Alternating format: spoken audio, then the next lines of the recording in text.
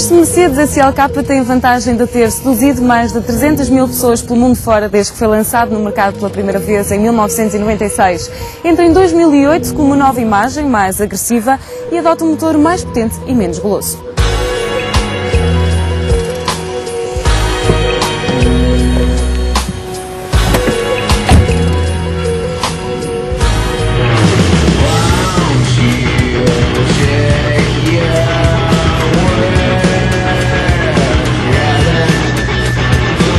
À primeira vista, este automóvel tem tudo para chamar a atenção. Prima por um design muito mais apurado e cheio de raça. A frente foi inspirada no todo-poderoso SLR, com formato em V ainda mais pronunciado. Também a parte de trás foi alterada. O para-choques confere-lhe um ar mais imponente, assim como o novo formato trapezoidal das ponteiras de escape. Os vidros e os farolinhos foram escurecidos, contribuindo para um ar ainda mais misterioso. Do facelift que recebeu no exterior, também o interior foi renovando, adotando uma imagem mais desportiva com materiais de melhor qualidade. Um dos aspectos que mais destaca no interior é o novo volante, com tamanho talvez um pouco exagerado. A instrumentação também foi revista, assim como alguns comandos da consola central. Além dos materiais em termos de equipamento, o SLK está mais recheado recorre ao novo sistema de som, navegação e telefone por Bluetooth.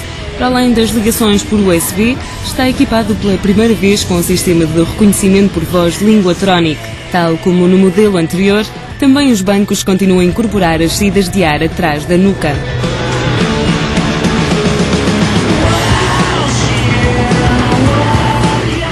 Com tanta alteração climática, uma das vantagens deste automóvel é passar de coupé a cabo em apenas 22 segundos. O sistema vário foi completamente revisto, mas é uma pena que a capota só possa ser acionada com o automóvel completamente imobilizado.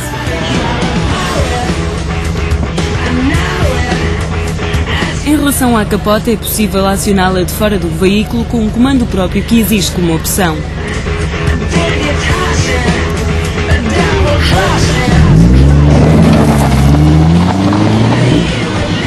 Condução de um automóvel com tração traseira tem sempre um encanto muito particular, mas curiosamente o SLK 200 revela-se bastante dócil.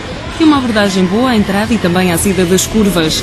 A direção é muito comunicativa e mesmo com o ESP desligado, sempre que é necessária a sua intervenção nos casos mais extremos, atua eficazmente sem penalizar os adeptos de uma condução mais aguerrida. Um dos pontos a favor deste automóvel é que tanto se adapta a uma condução desportiva como mais tranquila a rigidez estrutural do SLK foi aumentada, contribuindo para uma maior precisão no comportamento. A posição de condução é muito boa, aliás, as viagens são bem confortáveis, porque um dos bons argumentos deste automóvel é o excelente compromisso entre o conforto e o comportamento esportivo. Este modelo recorre a um motor de 4 cilindros sobrealimentado, agora com 184 cavalos. A versão de 2004, comercializada até aqui, oferecia apenas 163 cavalos. Curiosamente, embora a potência tenha aumentado, os consumos desceram consideravelmente. Passou de um gasto médio de 8,4 litros para 7,7 litros por cada 100 km percorridos. Com binário máximo de 250 Nm disponíveis entre as 2.800 rotações por minuto e as 5.000, não tem reações explosivas, mas cumpre os primeiros 100 km por hora em 7,6 segundos. Quanto às emissões de CO2, caíram 27 grama para 182 grama por quilómetro.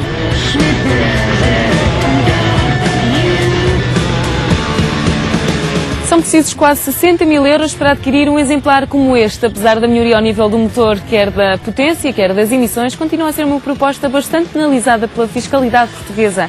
Só de impostos são quase 16 mil euros.